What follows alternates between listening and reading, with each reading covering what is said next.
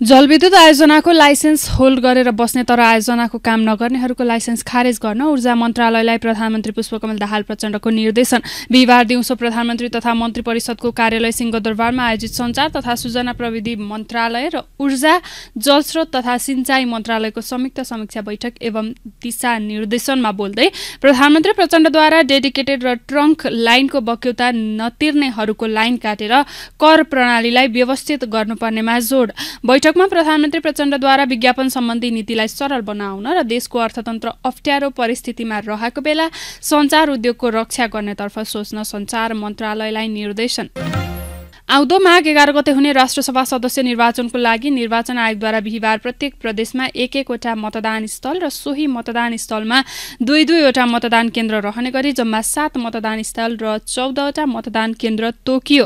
कोशी प्रदेशका लागि प्रदेश निर्वाचन कार्यालय विराटनगर मोरङ मध्य प्रदेशका लागि महेन्द्र नारायण निधि मिथिला संस्कृति केन्द्र जनकपुर धाम धनुषा बागमती प्रदेशका लागि श्री भुटन देवी मावि प्राविधिक शिक्षालय ब्लक एफ प्राविधिक भवन हेटौडा मकवानपुर गण्डकी प्रदेशका लागि प्रदेश निर्वाचन कार्यालय पोखरा कास्की लुम्बिनी प्रदेशका लागि कर्मचारी मिलन केन्द्रको भवन घोराही दाङ कर्णाली प्रदेशका लागि प्रदेश निर्वाचन कार्यालय सुर्खेत र सुदूरपश्चिम प्रदेशका लागि प्रदेश सभा भवन धनगढी कैलालीलाई मतदान स्थल तोकिएको आयोगका प्रवक्ता शालिग्राम शर्मा पौडेलद्वारा जानकारी।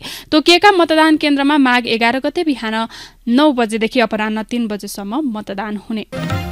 संस्कृति पर्यटन तथा नागरिक उड्डयन मन्त्री सुदन किरातीको पछिल्लो अभिव्यक्तिप्रति सामाजिक सद्भाव र सहिष्णुता खलबल्याउने प्रकृतिको उत्तेजनक र पदीय गरिमा विपरीत भएको राष्ट्र स्वतन्त्र पार्टीका सभापति रवि लामी छानेको टिप्पणी।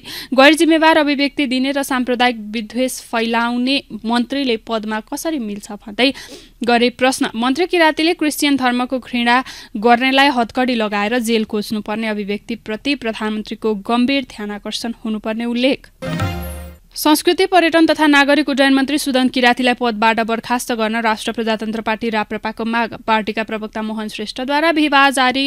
विज्ञप्तिमा संस्कृति र धार्मिक सहिष्णुतामाथि धावा बोल्ने व्यक्ति कुनै पनि कोडबाट मन्त्री पदमा रहिरहन उपयुक्त नहुने उल्लेख। किरातीले क्रिस्चियनलाई नमान्ने देशद्रोही हुन् भने एक धर्मलाई प्रोत्साहित गर्ने र सनातन धर्म लगायत अन्य धर्म मान्नेप्रति घृणाभाव फैलाउने गरी गैर संवैधानिक सामाजिक सद्भाव बिथोल्ने असहिष्णु र विभाजनकारी अभिव्यक्ति दिएको राप्रपाको आरोप।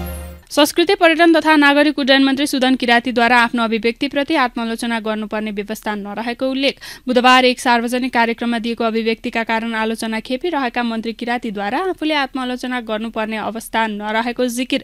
धर्मनिरपेक्षता राष्ट्रमा सबै धर्म संस्कृतिहरूको एकै फुलबारीमा फुलेको फुल भएको र फुलबारीका कुनै पनि फुल अस्वीकार गर्नेहरू संविधान विरोधी नै भएको टिप्पणी।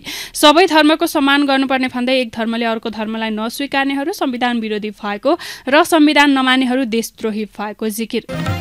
नेपालको राजनीति सुदृढ गर्दै लैजानुपर्ने नेपाली काङ्ग्रेसका सभापति शेरबहादुर देउवाको भनाई जनकपुरमा बिहिबार नेपाली काङ्ग्रेस मधेस प्रदेश सम्मेलनको उद्घाटन गर्दै देउवाद्वारा नेपाली राजनीतिलाई बलियो बनाउन काङ्ग्रेस लागिरहेको उल्लेख। समानुपातिक र समावेशी निर्वाचन प्रणाली भएकाले कुनै एक पार्टीका बहुमत आउन गाह्रो रहेको भनाई सम्मेलनमा उपसभापति धनराज गुरुङद्वारा मधेसलाई माथि उठाउनु पर्नेमा जोड। मिसन चौरासी होइन मिसन सुशासन बनाउन आवश्यक रहेको उपसभापति गुरुङको भनाई। नेपाल वायुसेवा निगमले लामो समयदेखि ग्राउन्डेड चिनिया जहाज बिक्री गर्न लागेसँगै सांसदहरूद्वारा तीव्र विरोध वायुसेवा निगमको व्यवस्थापन तथा व्यावसायिक सुधारको मुद्दामा बिहिबार बसेको संसदीय समितिमा बोल्दै नेमकिपाका नेता तथा प्रतिनिधि सभा सांसद प्रेम सुवालद्वारा मन्त्रीको ध्यानकर्षण। सात वर्ष अघि करिब छ अर्ब रुपियाँमा पाँचवटा जहाज वर्षौदेखि ग्राउन्डेड। मधेस काङ्ग्रेस साथमा उभिएपछि काङ्ग्रेस बलियो भएको नेपाली काङ्ग्रेसका महामन्त्री विश्वप्रकाश शर्माको भनाई।